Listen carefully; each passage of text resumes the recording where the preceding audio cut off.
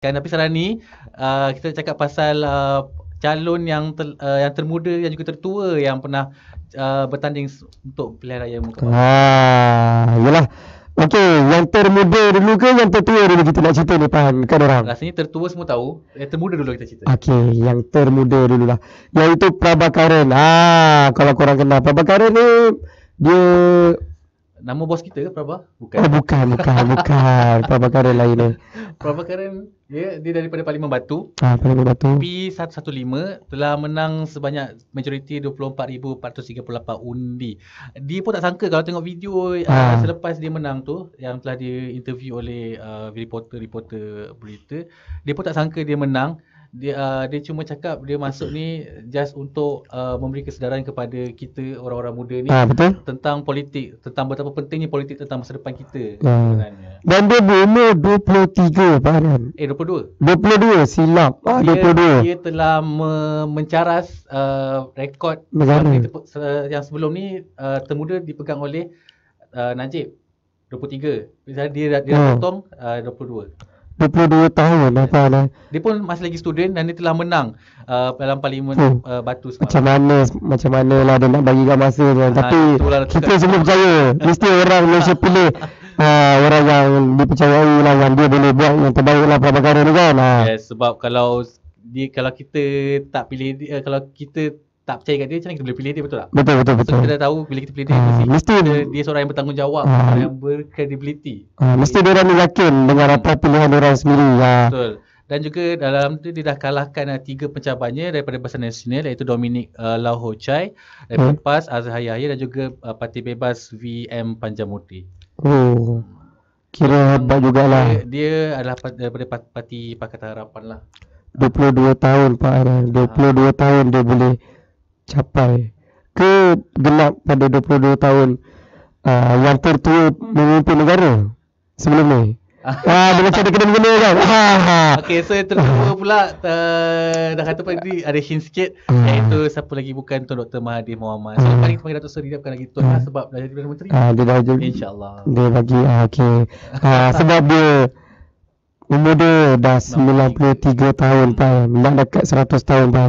Dia masih lagi uh, berjuang demi negara. Ini memang orang orang yang kita patut beri contoh, betul-betul contoh lah. Aha, sebab dia pun dah kembali ke pangkal jalan, dia pun dah Hmm. sedar apa silap dia selama ni Ah. dan dia berani mempertaruhkan uh, maruah dia. Uh, dia nak buang segala malu dia yang selama ni dia heboh-heboh masa Ah, dia betul. jadi Perdana Menteri.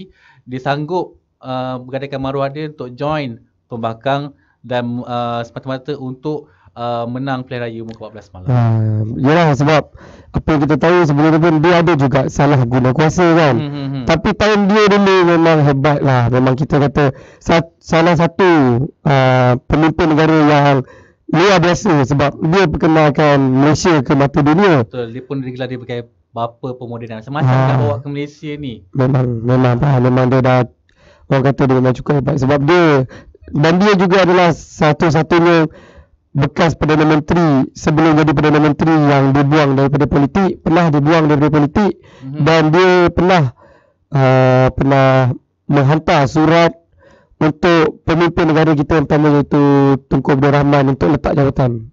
Wah. Betul. Ingat balik pun ada jadi ada Ha, dia pernah dulu. dia pernah suruh Ha. Tunku Abdul Rahman untuk letak jawatan. Ha, satu-satunya bekas berani, dia pemimpin. berani. Ha, dia berani. Dan dia sanggup masa tu kena buang daripada ahli politik masa tu kan Pak Anas. Ha, ha. Dia sanggup masa tu. Wish. Memang masa tu memang kita tengok dia memang lain daripada lain. Lepas Benetton Hussein terus dia naik. Dan dia adalah pemimpin negara paling lama lah dalam masa 22 tahun. Ha, dan tak tahulah berapa lama lagi kan. Dan dia pun pernah cakap dan dia baru baru cakap lah yang saya dengar yang Mira dengar sebelum ni dia cakap lepas ni kalau dia mati pun dia rasa lega lah kan sebab dia dah selamatkan negara sendiri betul. ha, dia pun cakap dia tak tahu berapa lama dia boleh ubah balik uh, Malaysia ni kan ha.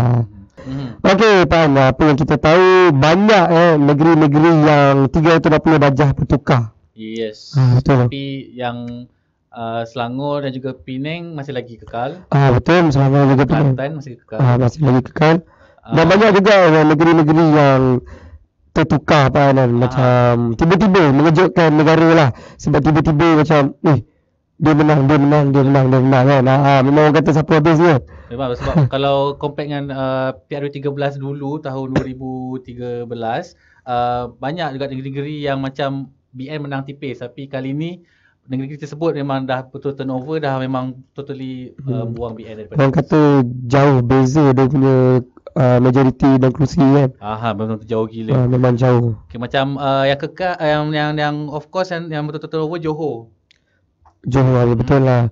Johor betul dan sebab time aku pergi Johor dulu, uh, hari tu tengok banyak tempat uh, yang di orang kata dikelilingi oleh BN kan. Tiba-tiba bukan BN menang kan. Eh. Macam aku, lain aku lah. pun ada Johor dah 4 tahun di Johor.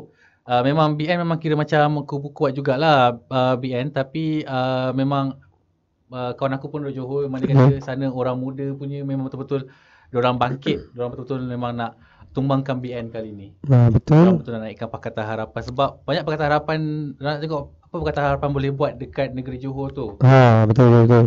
So ada juga uh, Melaka. Ha, Melaka. Hmm. Kubu kuat BN sebenarnya.